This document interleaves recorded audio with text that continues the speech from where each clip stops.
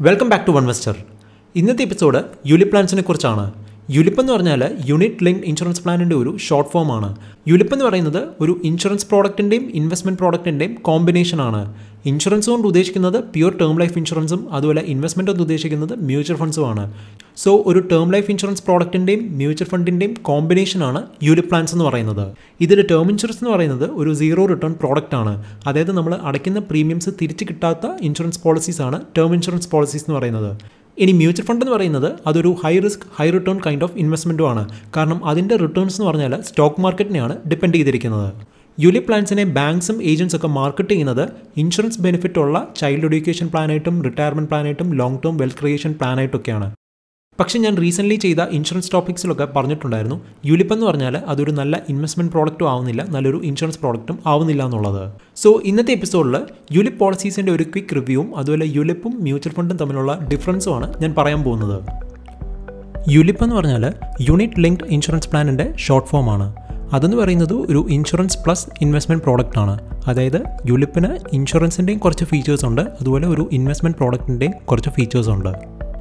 Insurance എന്ന് പറഞ്ഞാൽ term insurance ആണ് ഉദ്ദേശിക്കുന്നത്. അതുപോലെ ഇൻവെസ്റ്റ്മെന്റ് എന്ന് പറഞ്ഞാൽ മ്യൂച്വൽ ഫണ്ടുമാണ് ഉദ്ദേശിക്കുന്നത്. യുലിപ്പിന്റെ ഏറ്റവും വലിയ പ്രത്യേകത എന്ന് പറഞ്ഞാൽ ഫണ്ട് സ്വിച്ചിങ് ആണ്.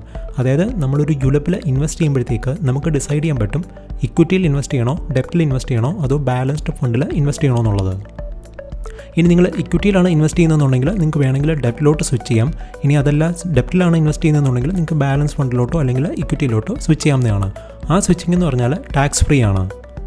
ഇനി യുലിപ്പിന്റെ പ്രീമിയംസ് നിങ്ങൾക്ക് സിംഗിളായിട്ട് പേ ചെയ്യാം. ലിമിറ്റഡ് പീരീഡിലത്തേക്ക് മാത്രം പേ ചെയ്യാം. അല്ലെങ്കിൽ നിങ്ങളുടെ പോളിസി ടേം ഇപ്പം ട്വന്റി ഇയേഴ്സ് ആണെങ്കിൽ ആ ട്വന്റി ഇയേഴ്സിൽ വേണമെങ്കിലും പേ ചെയ്യാവുന്നതാണ്.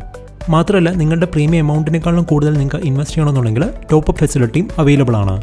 ഇനി യുലിപ്പിന്റെ ലോക്കിൻ എന്ന് പറഞ്ഞാൽ ഫൈവ് ഇയേഴ്സ് ആണ്. അതായത് യുലിപ്പിൽ ഇൻവെസ്റ്റ് ചെയ്യുകയാണെങ്കിൽ മിനിമം അഞ്ച് വർഷം കഴിഞ്ഞിട്ടേ നിങ്ങൾക്ക് വിഡ്രോ ചെയ്യാൻ പറ്റത്തുള്ളൂ. അതിന്റെ ടേംസ് ആൻഡ് കണ്ടീഷൻസ് എന്ന് പറയുന്നത് ഓരോ യുലിപ്പ് പോളിസിക്കും ഡിഫറെന്റ് ആയിരിക്കും. ഇനി ജുലപ്പിൽ ഇൻവെസ്റ്റ് ചെയ്യുമ്പോഴത്തേക്ക് നമുക്ക് ടാക്സ് ബെനിഫിറ്റ് നമ്മൾ അടയ്ക്കുന്ന പ്രീമിയംസിനും കിട്ടും അതുപോലെ നമ്മളുടെ റിട്ടേൺസിനും കിട്ടും. നിങ്ങൾക്ക് ഓൾറെഡി അറിയായിരിക്കും നമ്മളിപ്പോൾ ഒരു ഇ എൽ എസ് എസ് പ്ലാനിൽ ഇൻവെസ്റ്റ് ചെയ്യുമ്പോഴത്തേക്ക് അതായത് ടാക്സ് സേവിംഗ് മ്യൂച്വൽ ഫണ്ടിൽ ഇൻവെസ്റ്റ് ചെയ്യുമ്പോഴത്തേക്ക് നമ്മൾ ഇൻവെസ്റ്റ് ചെയ്യുന്ന എമൗണ്ടിന് മാത്രമേ ടാക്സ് ബെനിഫിറ്റ് കിട്ടത്തുള്ളൂ. അതിന്റെ റിട്ടേൺസ് ടാക്സബിൾ ആണ്. അതായത് നമ്മൾ വിൽക്കുന്ന സമയത്ത് നമ്മളുടെ ക്യാപിറ്റൽ ഗെയിൻസ് ഒരു ലക്ഷത്തിന് മേലെയാണെന്നുണ്ടെങ്കിൽ ടാക്സ് ആപ്ലിക്കബിൾ ആണ്. പക്ഷേ യുലി പ്ലാൻസിനാണെങ്കിൽ നമ്മളുടെ ഇൻവെസ്റ്റ് ചെയ്യുന്ന എമൗണ്ടിന് മാത്രമല്ല ആ റിട്ടേൺസും ടാക്സ് ഫ്രീ ആയിരിക്കും. അതിന്റെയും ഒരു കണ്ടീഷൻ എന്ന് പറഞ്ഞാൽ നിങ്ങൾ വാങ്ങിക്കുന്നത് സിംഗിൾ പ്രീമിയം പ്ലാൻ ആണെന്നുണ്ടെങ്കിൽ ആ ബെനിഫിറ്റ് കിട്ടത്തില്ല. നിങ്ങൾ ഒരു ഫൈവ് ഇയർ പ്ലാനിലോ അല്ലെങ്കിൽ ടെൻ ഇയർ പ്ലാനിലാണെങ്കിൽ മാത്രമേ ഈ ബെനിഫിറ്റ് കിട്ടത്തുള്ളൂ. ഇനി യുലിപ്പിന്റെ വർക്കിംഗ് എങ്ങനെയാണെന്ന് ചോദിച്ചാൽ നിങ്ങളൊരു fixed premium say one time ആയിട്ടോ അല്ലെങ്കിൽ അഞ്ച് വർഷമോ പത്ത് വർഷമോ നിങ്ങൾ അടച്ചുകൊണ്ടിരിക്കും. അതിൽ ഒരു സർട്ടൺ എമൗണ്ട് നിങ്ങളുടെ ലൈഫ് കവറേജിന് വേണ്ടിയിട്ട് യൂസ് ചെയ്യും അവർ അതുപോലെ സർട്ടൺ എമൗണ്ട് ചാർജസ് ആയിട്ട് അവർ ഡിഡക്ട് ചെയ്യും. അതുപോലെ ബാക്കി എമൗണ്ട് ഇൻവെസ്റ്റ്മെന്റിനായിട്ട് യൂസ് ചെയ്യുകയും ചെയ്യും. സോ ആ ഇൻവെസ്റ്റ്മെന്റ് എമൗണ്ടിന് ഈക്വലന്റ് ആയിട്ടുള്ള യൂണിറ്റ്സ് ആയിരിക്കും നിങ്ങൾക്ക് അലോക്കേറ്റ് ചെയ്യുന്നത്. ആ ഇൻവെസ്റ്റ്മെന്റ് എവിടെ വേണമെന്നുള്ളത് നിങ്ങൾക്ക് തന്നെ ഡിസൈഡ് ചെയ്യാം. നിങ്ങളൊരു യൂലി പോളിസി വാങ്ങിക്കാൻ നേരത്ത് നിങ്ങൾക്ക് തന്നെ സെലക്ട് ചെയ്യാൻ പറ്റും. ഇക്വിറ്റിയിൽ ഇൻവെസ്റ്റ് ചെയ്യണോ ഡെപ്റ്റിൽ ഇൻവെസ്റ്റ് ചെയ്യണോ അതോ ഇനി ഇതിന്റെ രണ്ടിന്റെയും കോമ്പിനേഷനായ ഒരു ബാലൻസ്ഡ് ഫണ്ടിൽ ഇൻവെസ്റ്റ് ചെയ്യണോ എന്നുള്ളത് ഇനി യുലിപ്പ് എന്ന് പറഞ്ഞാൽ ഒരു മാർക്കറ്റ് ലിങ്ക്ഡ് പ്രോഡക്റ്റ് ആണ്. അതായത് യുലിപ്പിന്റെ റിട്ടേൺസ് എന്ന് പറഞ്ഞാൽ സ്റ്റോക്ക് മാർക്കറ്റിനെ ഡിപ്പെൻഡ് ചെയ്താണ് ഇരിക്കുന്നത്. അതുകൊണ്ട് തന്നെ ULIP policies guaranteed returns delivery ചെയ്യത്തില്ല. ഇനി യുലിപ്പിന്റെ മെച്യൂരിറ്റി ബെനിഫിറ്റ് എന്ന് പറഞ്ഞാൽ നിങ്ങളുടെ ഫണ്ടിന്റെ വാല്യൂ ആയിരിക്കും.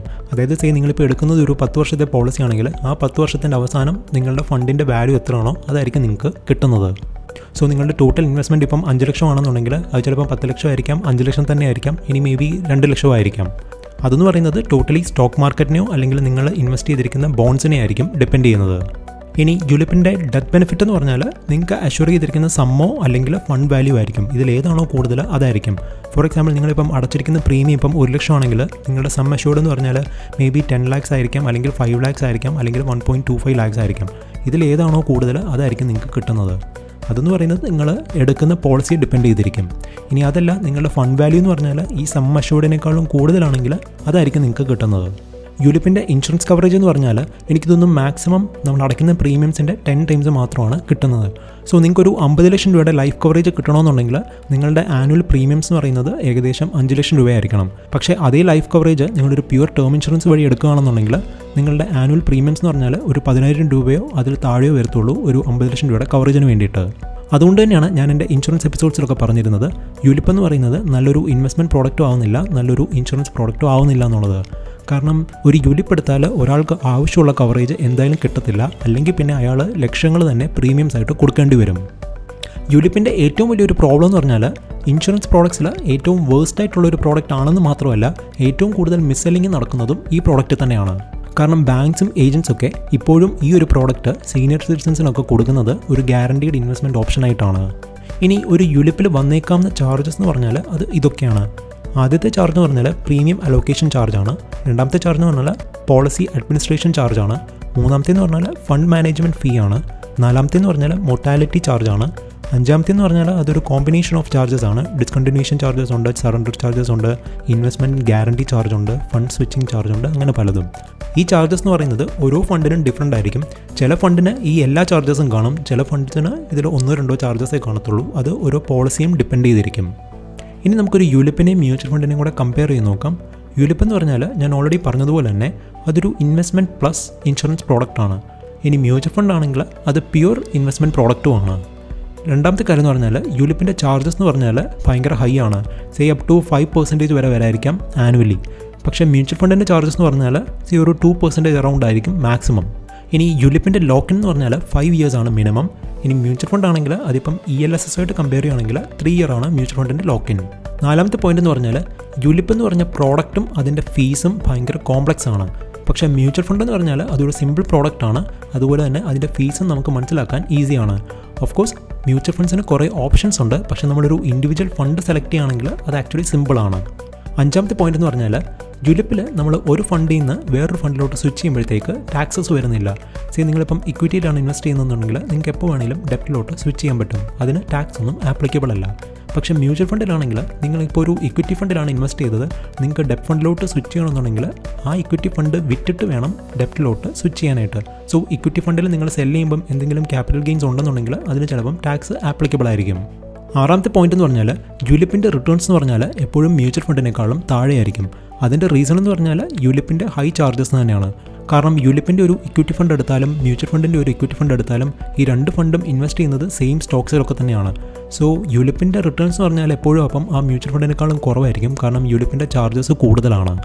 ഏഴാമത്തെ കാര്യം എന്ന് പറഞ്ഞാൽ നമുക്ക് നമ്മുടെ യൂലിപ്പ് പോളിസീസ് യൂസ് ചെയ്തിട്ട് മാർക്കറ്റ് സ്പെക്കുലേറ്റ് ചെയ്യാൻ പറ്റും. ഇപ്പോൾ ഫോർ എക്സാമ്പിൾ നിങ്ങളിപ്പം യൂലിപ്പിൽ ഇൻവെസ്റ്റ് ചെയ്തിട്ടുണ്ട് അതിന്റെ ഇക്വിറ്റി ഫണ്ടിലാണ് ഇൻവെസ്റ്റ് ചെയ്തിരിക്കുന്നത്. എനിക്കിപ്പോൾ തോന്നുകയാണ് മാർക്കറ്റ് ഓൾ ടൈം ഹൈയിലാണ് ഇനി ഇത് താഴോട്ടാണ് പോകുന്നതെന്നുണ്ടെങ്കിൽ നിങ്ങൾക്ക് നിങ്ങളുടെ ഇക്വിറ്റി ഫണ്ടിൽ നിന്ന് ഡെറ്റ് ഫണ്ടിലോട്ട് സ്വിച്ച് ചെയ്യാവുന്നതാണ്. അത് ടാക്സ് ഫ്രണ്ട്ലിയുമാണ് അപ്പോൾ നിങ്ങളുടെ ക്യാപിറ്റൽ അവിടെ സേഫും ആയി. പക്ഷേ മ്യൂച്വൽ ഫണ്ടിലാണെങ്കിൽ ഇതുപോലൊരു സ്വിച്ചിങ് അവൈലബിൾ അല്ല. അതുകൊണ്ട് തന്നെ മാർക്കറ്റ് ക്രാഷ് ചെയ്യുവാണെങ്കിൽ നമ്മുടെ ഇൻവെസ്റ്റ്മെന്റിന്റെ വാല്യൂ അതുപോലെ തന്നെ താഴോട്ട് പോകും. എട്ടാമത്തെ കാര്യം എന്ന് പറഞ്ഞാൽ നിങ്ങൾ യുലിപ്പിൽ ഇൻവെസ്റ്റ് ചെയ്യുമ്പോഴത്തേക്ക് നിങ്ങളുടെ ഇൻവെസ്റ്റ്മെന്റ് എമൗണ്ടിന് മാത്രമല്ല ടാക്സ് ബെനിഫിറ്റ് കിട്ടുന്നത് നിങ്ങളുടെ റിട്ടേൺസിനും ടാക്സ് ബെനിഫിറ്റ് ഉണ്ട്. പക്ഷേ മ്യൂച്വൽ ഫണ്ടിലാണെങ്കിൽ നിങ്ങൾ ഇൻവെസ്റ്റ് ചെയ്യുന്ന എമൗണ്ടിന് മാത്രമേ ടാക്സ് ബെനിഫിറ്റ് ഉള്ളൂ നിങ്ങളുടെ റിട്ടേൺസ് ടാക്സബിൾ ആണ്. യുലിപ്പ് പോളിസീസ് എന്തുകൊണ്ട് നല്ലൊരു ഇൻവെസ്റ്റ്മെന്റ് പ്രോഡക്റ്റോ ഇൻഷുറൻസ് പ്രോഡക്റ്റോ അല്ല എന്നുള്ളത് റിയൽ എക്സാമ്പിൾസ് യൂസ് ചെയ്ത് ഞാൻ എന്റെ അപ്കമിംഗ് എപ്പിസോഡിനകത്ത് കാണിച്ചു തരുന്നതായിരിക്കും. ഈ എപ്പിസോഡ് നിങ്ങൾക്ക് യൂസ്ഫുൾ ആയിട്ട് തോന്നിയിട്ടുണ്ടെങ്കിൽ എന്റെ ചാനൽ സബ്സ്ക്രൈബ് ചെയ്യുക. So good bye until the next episode